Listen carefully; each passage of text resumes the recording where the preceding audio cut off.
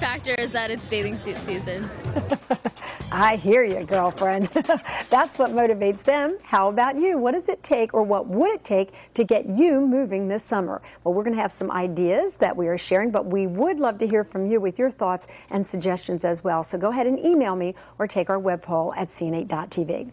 Now, on to this year's Philly Fit Bash. This gathering of more than 80 health experts, vendors, and services was a virtual smorgasbord of fitness and fun with more than 2,500 people in attendance. Our It's Your Call correspondent Kyle Schmoyer gives us a glimpse into some of the day's events.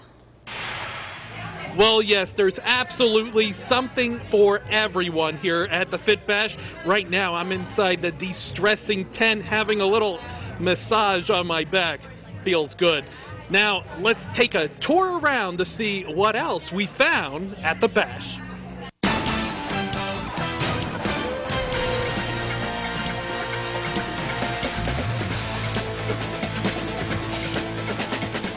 Point of the bash is we've got so many things in the local area, it's so hard to find. So the bash is putting it all in person. As you know, we've got Philly Fit magazine. Everything you can read about it, you can see it, there's addresses. We thought, why not put it in person, come out and see us, touch it, feel it. I think it takes several times of thinking about fitness before you actually act on it.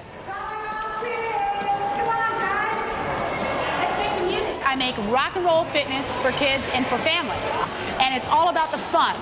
It's all about the fact that when you hear wonderful music and you want to share it with your family, you want to get up and move to the music.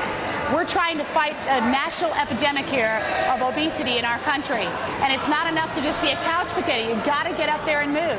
And we want to make it so much fun that people forget that it's really exercise.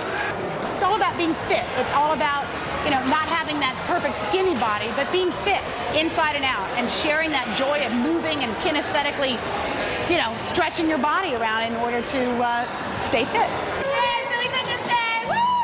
That's the idea. You need to be playing to have fun, to learn, and it's natural for people to, for children and people to be curious and and to want to learn. So as long as you take all the pressure out of learning and keep it fun as it naturally is, then it's successful.